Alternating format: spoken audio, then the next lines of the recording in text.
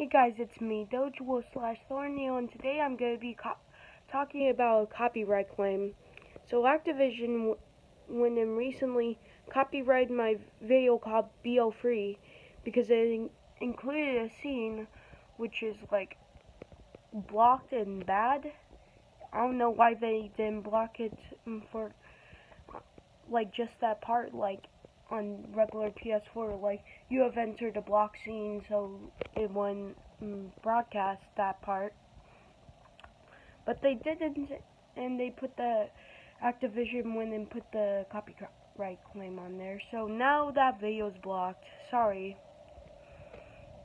I'll go and try to repost the video, but without the copyright scene. The copyright scene was during zombies, right? See that starting up? That was copyrighted. Like that little animation thing, that was copyrighted. Anyways, I'll go and try and make it without it. See ya.